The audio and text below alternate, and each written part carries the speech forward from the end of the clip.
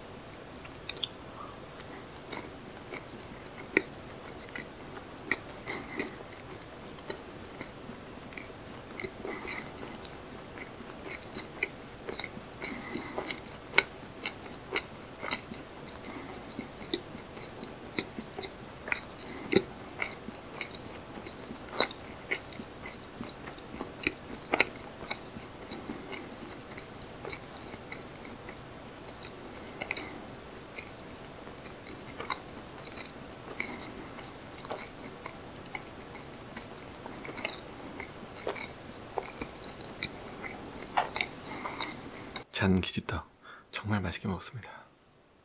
시청해주셔서 감사합니다. 좋아요와 구독 부탁드립니다.